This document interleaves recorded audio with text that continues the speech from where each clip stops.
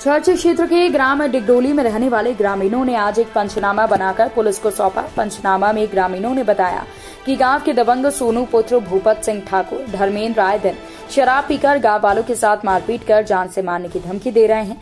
आरोपित बाहर से बदमाशों को बुलाकर लाठी और धारदार हथियारों से चाकू, तलवार, तमंचा, माउजर, बंदूकों से जान से मारने की धमकी देते हैं।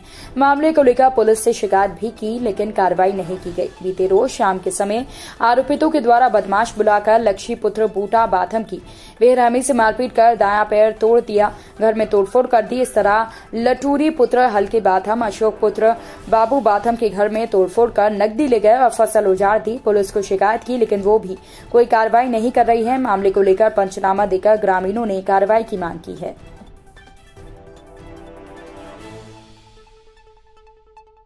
क्या नाम भाई आपका?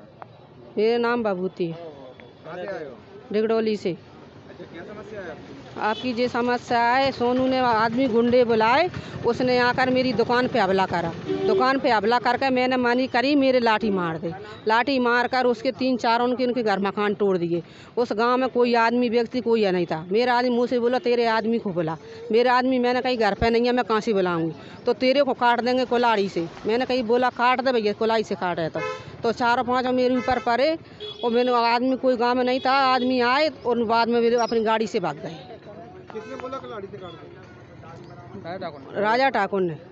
हैं? तो आपने थाने में रिपोर्ट लिखवाई? थाने कोई प्राप्त कोई कोई प्राप्ति नहीं है। आज एसपी साहब के पास आए तो साहब ने क्या आश्वासन दिया? एफ़ सी साहब ने कह दिया पौरी चले जाओ। हाँ हाँ।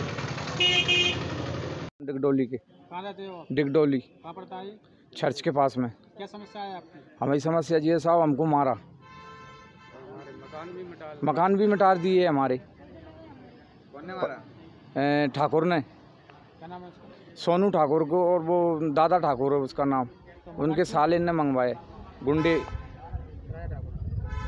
तो मकान क्यों तोड़े आपने साहब कोई मालूम नहीं हमारे लिए हमसे कोई बात पूछते कि भाई तुम्हारे हम पे जो कसूर है कि ये बात है तो पूछते तो हमारे लिए वो होती है हमारे कोई पता ही नहीं है और हमारे लिए आन के मारपीट करने लगे हुए तो गुंडे बुलवा करके। अभी इससे पहले रंजिश तो होगी?